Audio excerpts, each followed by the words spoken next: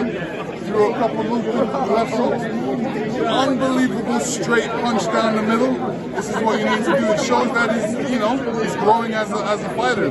Great champion. Champ, you were one of the, the biggest punchers in the sport of boxing. You had highlight reel knockouts. We seen Mike Tyson. You, you knocked out Mike Tyson. Where do you rate his power all time? Oh, his power is there. Um, you know, you would have to say in a small, in a, in a room filled with men, he is definitely part of the, the, the room. You know, so if the room has got 10 people in that are power punchers, he's definitely one of them. Now, how you History. see how you see the rematch with him and Fury playing out? I think it's going to be a great uh, rematch. You know, both guys are, uh, are great fighters.